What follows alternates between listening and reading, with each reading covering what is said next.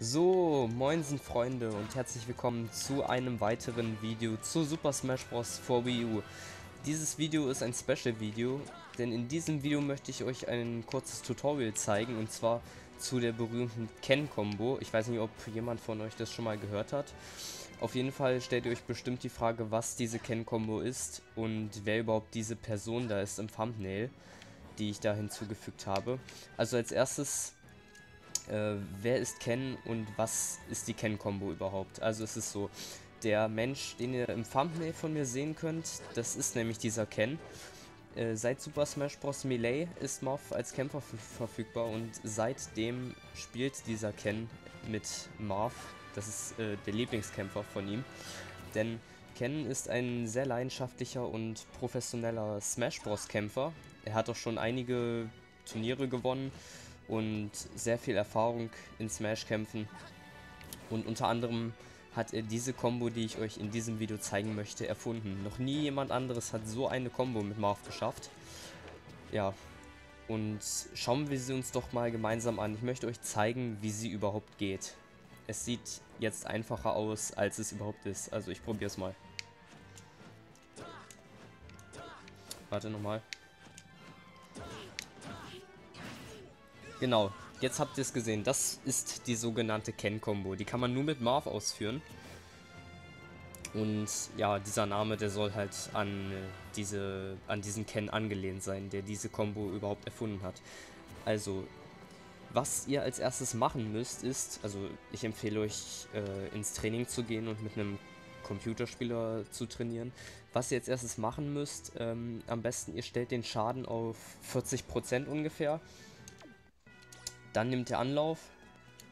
Und dann führt ihr ganz schnell hintereinander drei verschiedene Attacken mit Marv aus. Die wären einmal nach oben, also ähm, A-Angriff nach oben, dann A-Angriff rechts zur Seite und dann den Meteor Smash mit Marv, also den A-Angriff nach unten. Also ich zeig's euch mal. In der Luft als erstes den hier, dann nach rechts also man sagt up, dann right und dann down. Ne? Die drei Attacken. Bloß äh, es ist etwas schwieriger als gedacht, denn bei der ersten Attacke, bei äh, dem hier, bei dem Uppercut, da, den müsst ihr ausführen, kurz bevor ihr den Boden berührt mit Marv. Das sieht denn so aus. Habt ihr gesehen? Ich zeig's euch nochmal.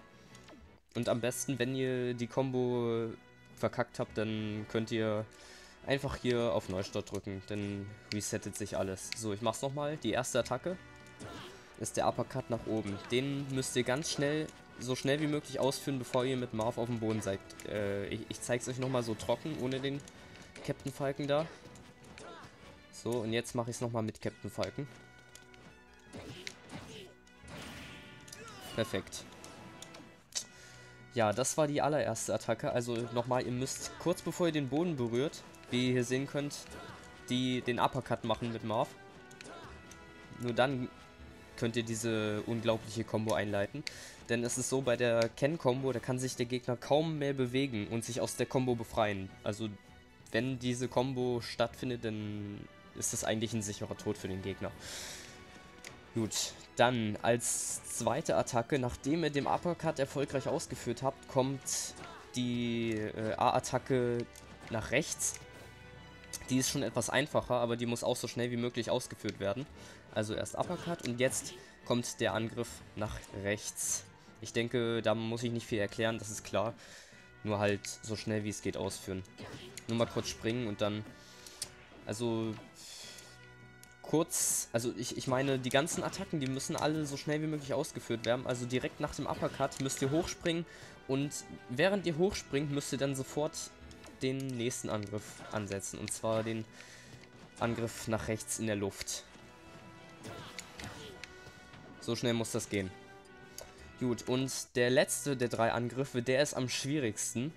Mit dieser Attacke beendet ihr die Ken-Kombo. Und zwar ist das der sogenannte Meteor Smash von Marv. Den Angriff nach unten in die Schlucht. Da spielt äh, die Spitze des Schwertes von Marv eine ganz große Rolle, denn es ist so bei äh, der unteren Attacke von Marv, äh, die erzeugt nur dann einen Meteor-Smash, wenn der Gegner mit der Spitze von Marvs Schwert getroffen wird. Nur dann gibt es einen Meteor-Smash-Effekt. Also es kann auch sein, äh, wenn ihr mit der Spitze des Schwertes nicht trifft, dass die Combo dann versaut ist. Okay, gut, eigentlich wollte ich die Combo jetzt versauen. Jetzt habe ich sie aus, aus Versehen richtig gemacht. Naja, wie, wie dem auch sei. Ich, ich, ich mache es jetzt einfach mal anders. Ich zeige euch mal, was passiert, wenn ihr nicht mit der Spitze des Schwertes trifft. Ach komm, ey. Das gibt's doch jetzt nicht. Genau, dann passiert das. Dann fliegt der Gegner einfach irgendwo hin. Und das wollen wir ja nicht, ne? Wir wollen ja den Gegner mit der Spitze des Schwertes treffen.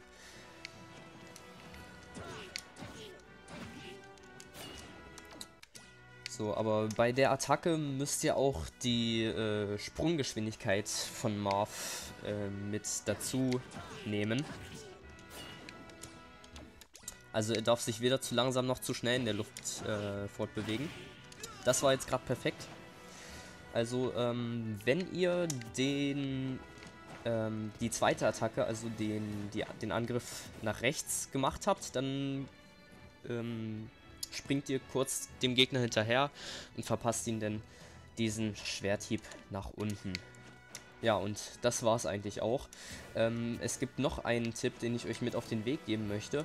Äh, die Combo schlägt, kann auch schon bei der ersten Attacke fehlschlagen, denn äh, es passiert mir auch manchmal aus Versehen, dass die Spitze des Schwertes von Marv den Gegner bei der ersten Attacke, also bei dem Uppercut schon trifft. Da habt ihr gesehen, Jetzt hat der Gegner viel mehr Prozente erlitten, äh, als es eigentlich nötig ist. Und das bedeutet, dass ich ihn gerade mit der Spitze des Schwertes getroffen habe. Ja, und sonst gibt es eigentlich nichts mehr zu beachten. Ich schreibe euch mal noch eine genauere Kombination in die, Besch in die Videobeschreibung, damit ihr dort nochmal die genaueren Umstände der Ken-Kombo nachlesen könnt. Also Uppercut, Luftattacke nach rechts und dann nach unten mit der Spitze des Schwertes. So, und dabei ähm, spielt natürlich bei der Ken-Combo auch die Prozente des Gegners eine Rolle. Was ich euch empfehlen kann, ist, ihr startet auf jeden Fall die Combo, wenn der Gegner sich äh, kurz vor Ende der Stage befindet. Also so da, wo Captain Falcon jetzt ungefähr steht, da könnt ihr dann mit der Combo loslegen. Aber da es nur ein CPU ist, ist es natürlich äh, voll leicht, die Combo auszuführen. Bei menschlichen Spielern sieht das wahrscheinlich noch etwas anders aus. Aber probiert es einfach mal online auch mal aus. Ja, denn äh, ich empfehle euch, den Gegner mit dieser Combo erst anzugreifen im 30 bis 50%igen Raum. Also so, ja, ab, ab 30% bis maximal 50. Ab über 50% ist denn die Combo nicht mehr möglich. Dann kann man halt nochmal ja, ein paar normale Schwerthiebe mit nachsetzen. Zeige ich euch mal. Ich, mache jetzt mal 55%. So. Seht ihr, und da ist die Combo dann schon nicht mehr möglich. Also äh, fürs Training sind am besten 40% geeignet, aber die Combo, die klappt von 30 bis 50% in diesem Raum. Ja, dann hoffe ich, dass euch dieses kurze Tutorial-Video gefallen hat. Gebt ein Like, wenn ihr diese Combo sehr nützlich findet. Also ich finde sie richtig geil, vor allem weil Marv ist äh, auch einer meiner Mains, mit dem ich noch viel zu lernen habe. Also das war noch nicht alles, was ich mit ihm drauf habe zum heutigen Zeitpunkt. Also ich werde diese Ken-Kombo auf jeden Fall noch öf etwas öfter üben und sie dann gegen äh, meine Freunde oder online dann einsetzen, damit ich die Spieler schön trollen kann. Ja, also aus der Combo kann man sich dann gar nicht mehr befreien, aber vielleicht gibt es ja den einen oder anderen Kniff, den ich jetzt aber gerade nicht weiß, wie man als Gegner aus dieser Combo flüchten kann. Naja, auf jeden Fall schreibe ich euch noch genaueres zu der Combo in die Videobeschreibung. Schaut euch auch da mal um. Ja, und dann sehen wir uns das nächste Mal bei einem weiteren Video wieder. Also Leute, bis dann und ciao.